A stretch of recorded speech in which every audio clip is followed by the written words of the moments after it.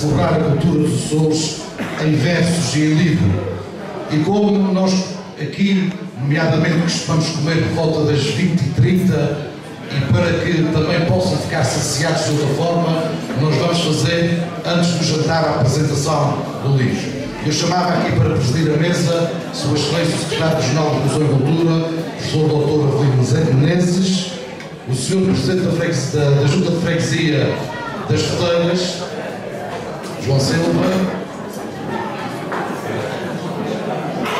o autor do, um dos autores do livro, o Jânio Borba, um homem que merece agora muitas palmas porque é do continente, através, cruza o Atlântico, sempre a pensar que tem que fazer muito para os Açores e faz realmente, que é o José Fonseca de Souza. Um homem que canta também a cultura das nossas ilhas, o Sr. Carlos Souza.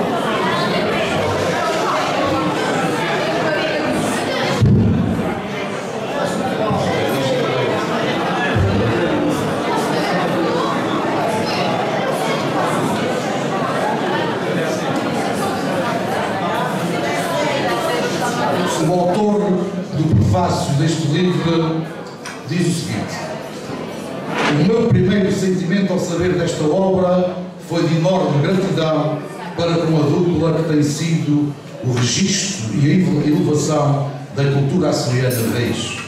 Muito obrigado ao Livido Corba e a José Fonseca Souza. Eu também digo o mesmo, felicitação.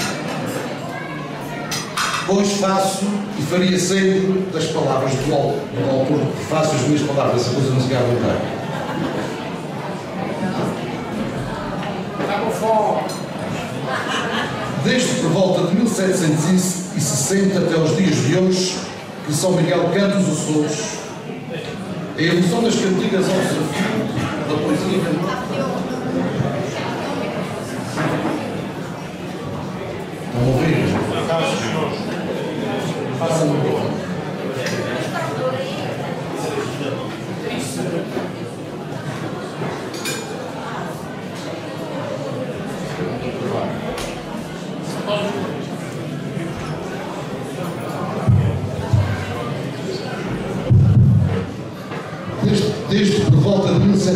1760 até aos dias de hoje, que São Miguel canta os Açores. A evolução das cantigas ao desafio, da poesia cantada pela boca dos poetas repentistas do povo, tem sofrido ao longo dos tempos várias modificações, como se deverá constatar nesta obra que muito enriquece o panorama miguelense da arte de cantar o povo.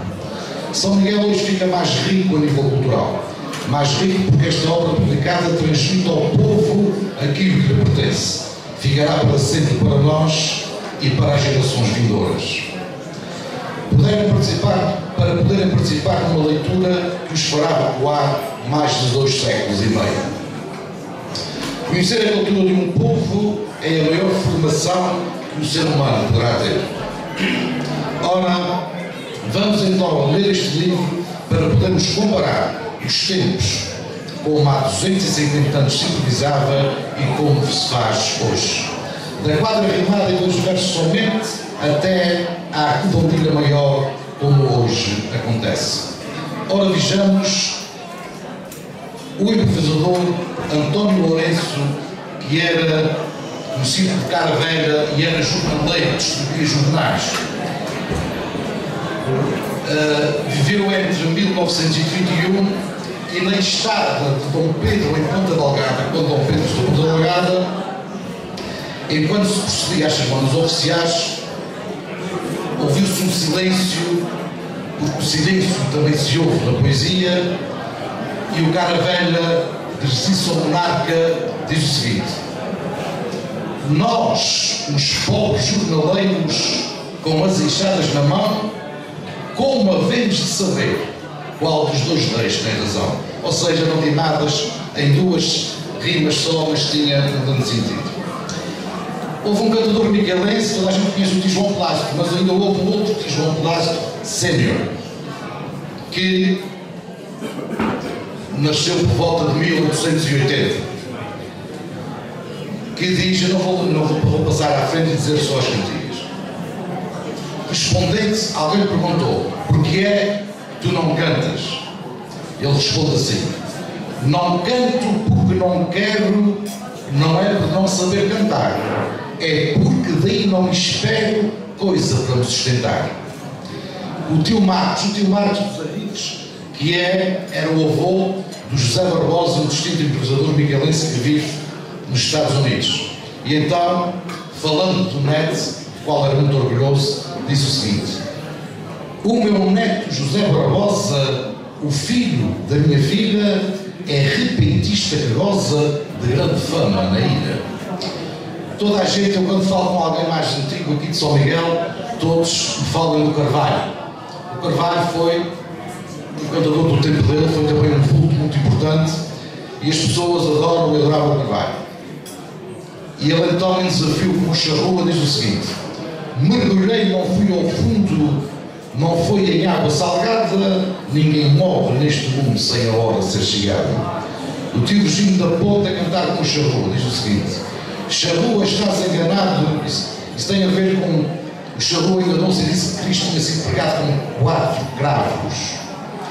Ele disse: Charrua, estás enganado nesta hora de improviso, com três escravos foi pregado, mas nenhum era preciso e outro foi reservado para te pregar o juízo.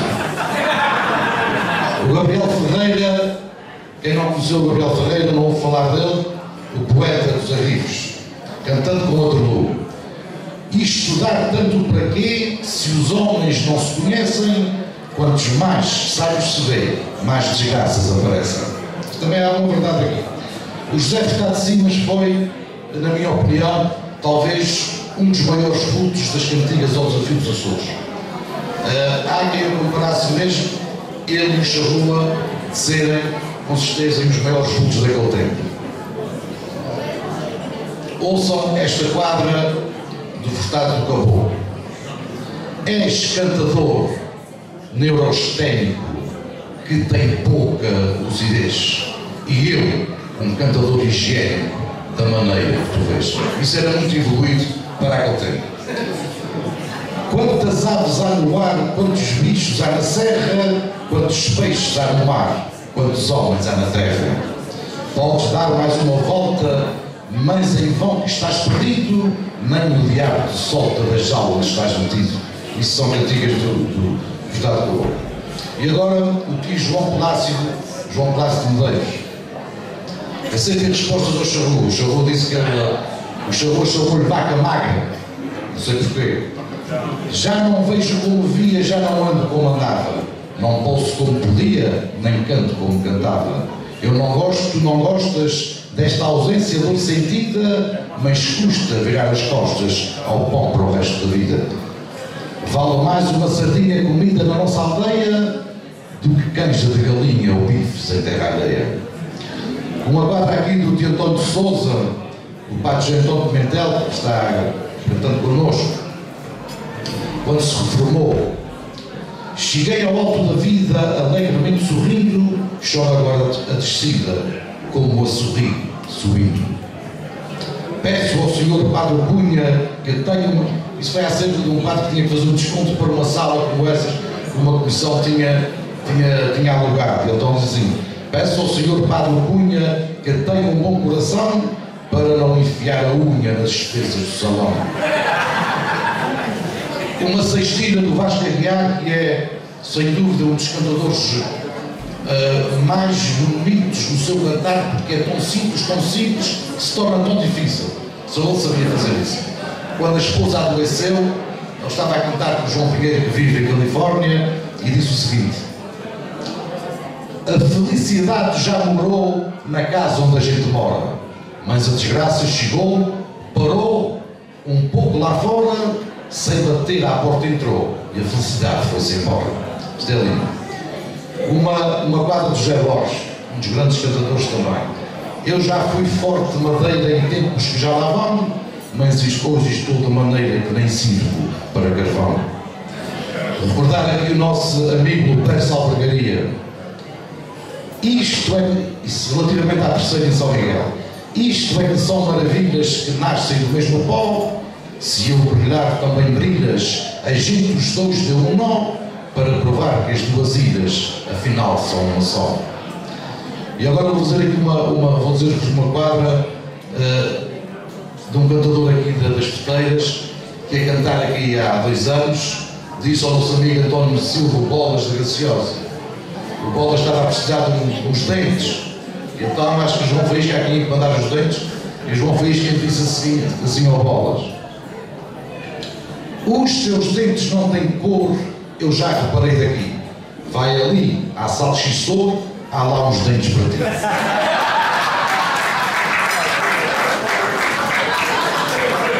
Há um jovem cantador micalense, açoriano e do mundo que neste momento está a passar aflições na vida dele, teve um grande acidente, já foi transportado já para o Porto onde está uma recuperação em fisioterapia, graças a Deus vai melhorar, esperamos que sim.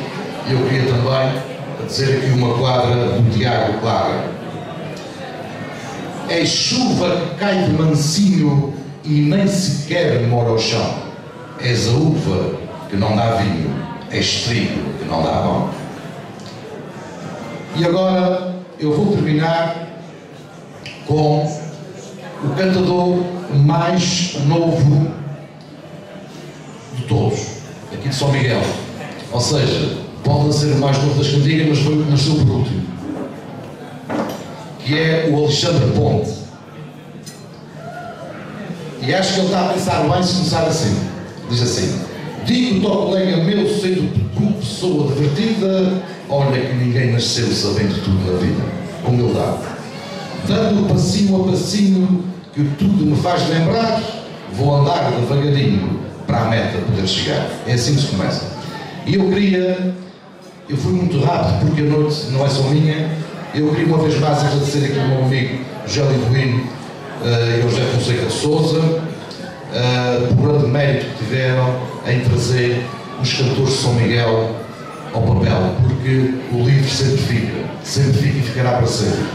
Uh, a culpa foi daqueles que cantaram em São Miguel durante séculos, mas também da culpa desses dois homens que passaram dias e noites a fazer chamadas, pesquisas, para que essa obra pudesse chegar às vossas casas, como espero quem comprar aquela obra com certeza que levará uma grande parte enriquecida da cultura de São Miguel e da cultura dos Açores. Muito obrigado.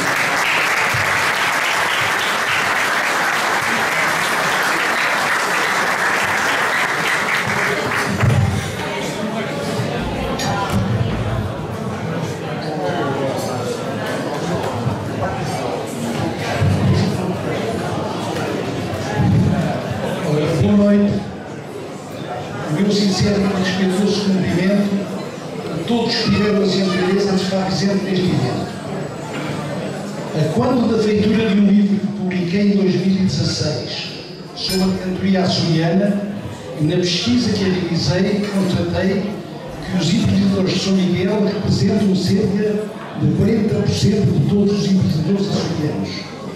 Assim, ficava e fica provado que a participação dos miguelenses no empreendido da cantoria é substancial e valiosa.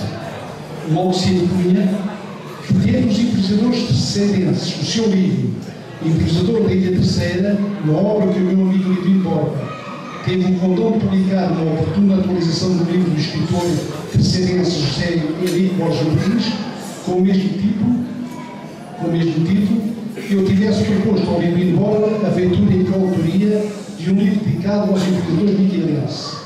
A ideia concretizou-se, mas só eu e ele podemos avaliar a gigantesca tarefa que tivemos de realizar a pesquisa, pois ele na Ilha Terceira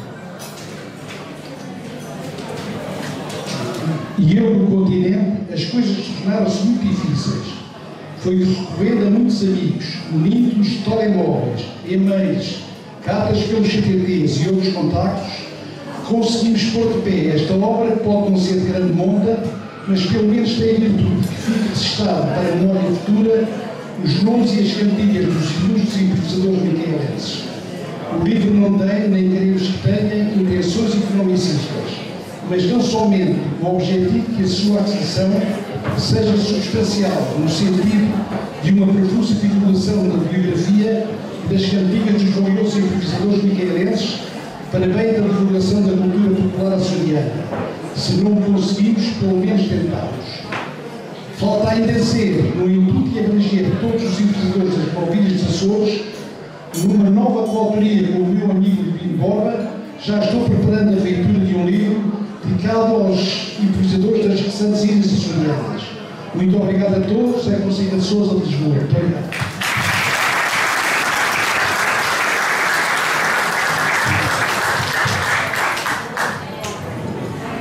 Boa noite, meus caros amigos. É um prazer estar aqui. É a segunda vez que estou aqui no lançamento um livro, uma casa cheia, muita gente ligada ao improviso. Eu começo por saudar os meus ilustres membros da mesa, que fazem parte aqui dela comigo, e a todos os que cá vieram. A elaboração deste livro foi realmente uma experiência interessantíssima. Eu gostava de agradecer ao meu amigo José Fonseca de Souza, que em Lisboa contratou também muita gente aqui dos Açores e São Miguel para se fazer esta recolha. Eu também depois entrei na fase final a conferir tudo quanto se tinha feito e tentar que tudo o que se fez saísse com exatidão, não houvesse erros. Uh, muita coisa, um, um, pouco mais, ou muita coisa aprendi mais com este livro sobre os cantadores, os improvisadores da Ilha de São Miguel. Gostava de me referir à quadra rimada nos quatro versos, ou seja, o chamado 1, 3, 2, 4, que para mim, portanto, para mim foi uma grande surpresa encontrar aqui na Ilha de São Miguel cantadores nasceram entre 1825 e 1850 e nos anos que cantavam, ainda no século XIX, ou seja, antes de 1900, já cantavam, já rimavam uh, a quadra nos, nos quatro versos, ou seja, o primeiro com o terceiro e o segundo com o quarto coisa que na Ilha Terceira só aconteceu em 1924 com o Bravo. E isso parece que tem a ver com a passagem do Bravo por aqui e que levou a essa lição daqui. É bom que seja assim, é bom que a gente conheça as nossas origens históricas e que as vá transmitir para saber onde é que as coisas nasceram. Outro facto que me chamou a atenção foi um, a comédia em género de improviso que era muito desenvolvida aqui em São Miguel, nos anos 1930 e 1950, por mão de Gervásio Lima e do Dr. Oliveira Sambento, que foram grandes impulsionadores da cantoria aqui em São Miguel. E eu falo em quê? Numa comédia de improviso. Então, simples como isso, alguns se calhar saberão, mas eu, não, eu sabia, mas tinha só uma vaga ideia. Percebi melhor agora nesta investigação. Eram escolhidos, eram convidados os improvisadores para uma determinada cantoria, e, e davam a cada um deles um papel. Imaginemos que eram quatro cantadores, um, seria o dono da casa, outro seria o arrendatário, outro era o marido da senhora e a senhora era a esposa do marido. E então tinham por função fazer uma peça de teatro cantada de improviso, em cima do palco, na hora, tudo inventado. Isto é obra que são os bons, são os bons improvisadores é que conseguem fazer. É bom que a gente saiba destas coisas e que eu tenha conhecimento há muitos anos, há muitos anos para cá, nunca mais fez nada disso, pelo menos que eu saiba. Mas às tantas fez em qualquer lado e não tenho conhecimento. Era, era uma boa forma de ver o valor dos nossos improvisadores, que é dar um papel e ele ter de o fazer tipo comédia em cima de um palco e tanto rimada. O resto da história era com ele, não era com ela, não era andar mais por nós. Portanto, somos bons é que sabem, é que sabem fazer isso. Eu gostava aqui de fazer. Há aqui uma outra, portanto, chamada de atenção depois de fazer este livro, foi encontrar algumas famílias com vários elementos ligados ao improviso. Eh, as que me chamaram mais a atenção, eu, vou referir aqui. A família dos Plácidos, eh, começamos com o Plácido Velho, de 1844, que nasceu na Maia. Parece que não tem grande parentesco com os Plácidos atuais, mas, a minha opinião, se houver uma investigação genealógica mais profunda, capaz de, de iremos encontrar essa ligação com os Plácidos atuais. Depois temos o. João Plácido, que nasceu por volta de 1880 e que teve três filhos. O João foi o charrua de São Miguel, dito por muita gente, o Manuel, que cantou menos, e o, eh, e o José, que nasceu em 1920 e também cantou menos, mas foram três cantadores. E para além destes três cantadores, nasceu uma irmã chamada Maria Angelina, e, uma irmã Maria Angelina, que é a mãe do José Palácio, que está nos Estados Unidos da América. Além disso, há uma filha do João Palácio, conhecida por Maria da Ponte, que também faz as suas reuniões. Estamos aqui a falar de uma família, estes Palácios, de cerca, de cerca não, de seis pessoas, não seja cinco, mais um Palácio de velho, porque é muita gente ligada a uma família. O próprio pai do José Palácio, Duarte Arruda, também, também cantava para exemplificar a qualidade dos versos dos Palácios, vou-me referir aqui a uma, uma viagem de, do José Barbosa e do José Plácido entre a Califórnia e a Costa Leste, depois de terem os dois cantado à Califórnia. Viu numa viagem de mau tempo e o, uh, o avião um pouco e o José Barbosa disse ao José Plácido que estava ao seu lado: Eu vou meditando a sério, tão alto vamos voando. Desvendar este mistério só Deus sabe quando. O José Plácido estava ao lado e respondeu: de muitas variadas cores, as nuvens parecem lendas. Quanto mais para cima fores, mais mistérios tu desvendas. Só, só os mestres de improviso é que conseguem festejar assim. Já agora gostava de saber se tem alguém presente da família Plácido aqui no salão. Há alguém? Família Plácido? Vamos agora à família Os Criados dos Arriscos também foi uma família que nos chamou a atenção e que a investigação levou a encontrar quatro criadas, digamos assim. Manuel Criado, pai, que nasceu em 1828, Manuel Criado, filho, que nasceu em 1928, o Isaac Criado, que nasceu em 1935 e é vivo no Canadá, na Ilha Vitória, em British Colômbia, o Honor Criado, que nasceu em 1948 e já faleceu. Todos eles tinham quadras valiosas. Gostava de referir aqui uma quadra muito falada na Ilha Terceira e que se dizia ser cantada na Praia da Vitória pelo Charrua Aturu, quando o povo apoiava a cantadeira, quando apoiava a Aturu. Disse-se durante muito tempo que esta quadra foi cantada por Charrua Aturu na praia. É um pouco atrevida, mas eu vou-vos dizer e vou perceber porquê. Dizem que o Charrua disse assim: ao pessoal da praia que só dá palmas à Tulu, levantem a borda da saia e deem três beijos no cu. O Charrua, a abordar sobre este assunto, e está aqui uma testemunha aqui ao meu lado, sempre negou ter cantado tal quadra e adiantava que nunca diria tal coisa em público, porque tinha muito respeito pelas suas plateias, pelo seu público. Então, agora, e é aqui que eu quero arrematar, nesta investigação para o livro São Miguel, fui encontrar a quadra cantada pelo criado pai, Aturu, mas de uma forma um pouco diferente, embora o sentido seja o mesmo. E então, é daqui que nasceu esta ideia de dizer que, que o Charrua tinha cantado esta quadra. Quem a cantou foi o Manuel Criada Pai, Aturu, e disse da seguinte forma, um pouco mais moderada, prestem atenção. Vejo o povo em altas vaias, dando palmas à Tulu. Levantem-lhe bem as saias e deem-lhe as palmas no cu. família. Esta família criada, esta família criada muito conhecida é aqui nos nossos dias, em São Miguel, tem sofrido várias articulações ao lado da vida. O pai faleceu em 19... o velho Manuel Criado faleceu em 1951 com 53 anos de idade, deixando uma grande família para criar a cargo da mãe e do filho mais velho,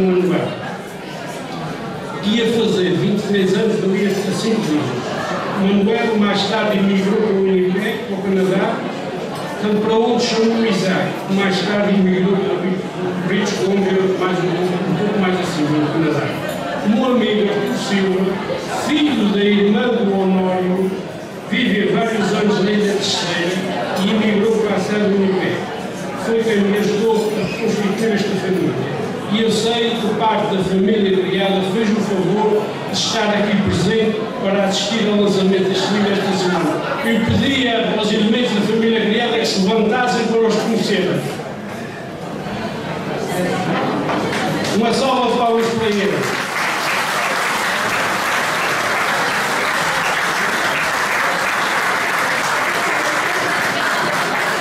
Gostaria só, Senhor José, fazendo aqui um apelo para que as, que as comissões de festas desta Ilha de São Miguel comecem a integrar mais as cantorias nas suas festas dentro do possível. Cada um sabe como é que gera o seu bar, cada um faz da forma melhor entende, mas à semelhança da terceira, talvez as festas de São Miguel pudessem ter mais um pouco de cantoria, embora se façam muitas cantorias também em São Miguel. Em relação ao projeto, gostava de deixar, como o meu amigo José Fonseca Souza disse, estamos a trabalhar nos investigadores das outras ilhas, ou seja, fizemos um livro com investigadores da Ilha Terceira, um livro com investigadores de São Miguel, há um livro com investigadores na diáspora e vai-se fazer um livro com os cantadores das outras sete ilhas. Não sei quando estará pronto, mas está-se a trabalhar. Além disso, há, há conversas com alguns cantadores que querem fazer as suas biografias. Estamos abertos a isso tudo, vamos trabalhando, vamos fazer a bem da nossa. Obrigado a todos, gostei muito de estar aqui, um grande abraço.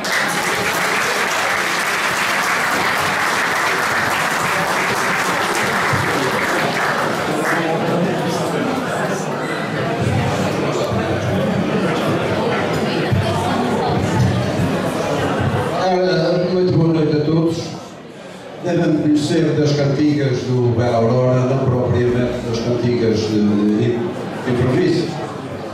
Eh, Eu estou aqui só, simplesmente, para dar um abraço a esta gente, a esta corajosa gente, Liduíno e, eh, e o Sr. José Fonseca, porque têm a coragem de saírem da sua ilha para trabalharem nas outras. E isso é um exemplo para nós, miquelenses, nós, miquelenses, devemos estar despertos para isso. E com a nossa incúria, com a nossa falta de trabalho, com a nossa falta de preocupação, deixamos perder muita coisa. Da minha parte fiz o possível porque durante 30 anos andei à cata de músicas que neste momento estão todas registradas por escrito, música, letra e gravadas. De qualquer maneira, eu vim aqui para falar dois minutos só, já estou a ultrapassar. Uh, vim aqui para aprender e digo-vos uma coisa: só com estes dois ou três discursos que eu agora acabei de ouvir, aprendi muito. Queria só referir uma coisa que o meu pai me deixou, que se contava nas capelas. Uh, consta com dois contadores, um deles trabalhava na mata de José Maria, que era um senhor que tinha uma mata muito grande lá para os lados do, do Maranhão das Capelas, e um trabalhador de Maria veio integrar o Arana Folião e andou então, naqueles dias andava a cantar e a distribuir pensões. Até que chegou, a, a distribuição das pensões chegou mesmo a mim, à casa dele. E ele manda a cantiga. Eis o divino da terra, abre a porta silvana, cá está no que se encerra a férias desta semana. E disse o outro, pega lá nessa esmola e leva ao José Maria, que andas por aí a tocar viola e ela pagar tudinho.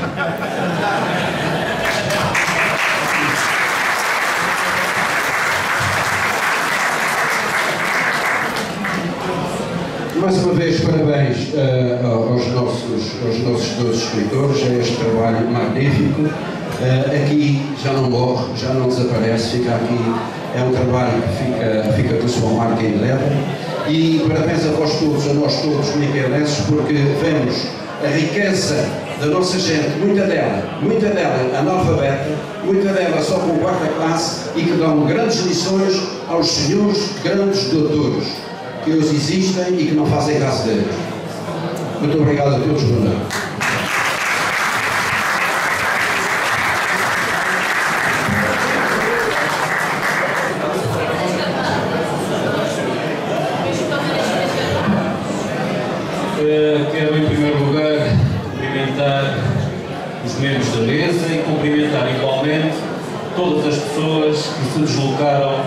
esta noite às feiras para ouvir cantigas.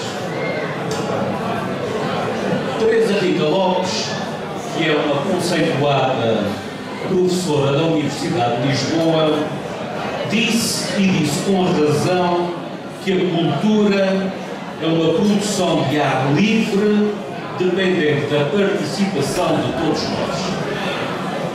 Quem ignorar esta verdade indesmentível engana-se a si próprio e engana a comunidade dos seus concidadãos. Uma cantoria ou um encontro de cantadores é, na sua essência, um ato cultural que hoje ocorre, por exemplo, aqui, sob o teto deste Salão de Festas do Espírito Santo das Feteiras, mas que geralmente acontece precisamente ao ar livre, debaixo do firmamento, no local que Teresa Rita Lopes considera a verdadeira casa da cultura. Quer tudo isto dizer que a cultura não é de todo um monopólio de meia dúzia de sábios ou de uma dúzia intelectuais. Quer tudo isto ainda dizer que a cultura não é apenas, nem sequer predominantemente feita nos institutos e nas academias. De resto, a cultura distingue-se pela simplicidade, jamais pela complexidade. Por isso, entre os melhores cantadores figuram naturalmente aqueles que exprimem a sua criatividade inata, depois moldada pela perspicácia da aprendizagem, da maneira mais rápida e mais simples. Nos Açores, as nossas cantorias e os nossos cantadores e tocadores são depositárias, são depositários da sabedoria e da tradição populares. Por outras palavras, são a expressão cultural de uma comunidade que sente, de uma comunidade que pensa e de uma comunidade que se exprime livremente alheia aos grilhões de qualquer espécie. É de todo oportuno que se registre em livro, como hoje aqui se faz, esta poesia popular. Caso contrário, considerado efêmero do ato de cantar, perderíamos hoje, como perdemos ontem, criações poéticas de uma qualidade invulgar. Neste capítulo e na continuidade do labor de Borges Martins desenvolvido para a Ilha Terceira, releva agora eu já tive a oportunidade de ressaltar isso, isto noutra ocasião. Releva agora, dizia eu, a atividade de Luís Borba, aqui associado José Fonseca de Souza, enquanto guardião, enquanto guardiães da memória dos melhores cantadores e das melhores cantorias. Nesta tarefa, a Associação de Cantadores e Educadores ao Desafio dos Açores, liderado por José Santos, também desempenha um papel fundamental. Apesar de todos estes esforços, sobre a origem das cantorias e da arte dos cantadores, persistem ainda hoje e persistirão por muito tempo dúvidas e inclusivamente incertezas. Muitos reconhecem o princípio da técnica do improviso na habilidade para a rima de um copeiro do primeiro capitão-general Dom Antão de Almada, que no terceiro quartel do século XVIII, em noites de gala, deliciava com quadras jocosas os nobres semi-embriagados que, entretanto, pouca valorização lhe concediam. Porém, de crer que a origem destas cantatas remonta aos antiquíssimos cantares de rumaria continentais que pela cinzeleza convertem a quadra em delícia dos populares. Claro que aqui nos Açores essa herança terá sofrido alterações fruto da diferente vivência dos humanos parcialmente resultante do diverso caráter da natureza. A título de exemplo, relembre-se o ritmo mais cadenciado do canto, ditado pelo acompanhamento mais dolente da viola da terra. Apesar do tradicional pessimismo das nossas gentes, que adivinham todas as crises e todas as tragédias, certo, certo é que em redor das cantorias nem tudo são preocupações. Em 1970, há quase 50 anos atrás, numa entrevista concedida a Milton Santos do Rádio Clube Angra, o conhecido, o reconhecido Ferreirinha das Bicas disse que em pouco tempo desapareciam as cantorias por falta de cantadores e de tocadores. Felizmente não aconteceu assim. As escolas de música formaram mais e melhores tocadores. O apelo da tradição e a promoção da cultura geraram mais e melhores cantadores. A tradição prevaleceu e prevalecerá, e com ela o respeito pela cultura herdada dos nossos antepassados. Com efeito, a penetração no meio urbano, depois de ter sido predominantemente uma diversão dos rurais, a alfabetização dos estudantes por força dos progressos da educação e a adesão da juventude contra o antigo predomínio dos mais velhos, garanta um futuro promissor para as categorias. Bem-haja e muito obrigado.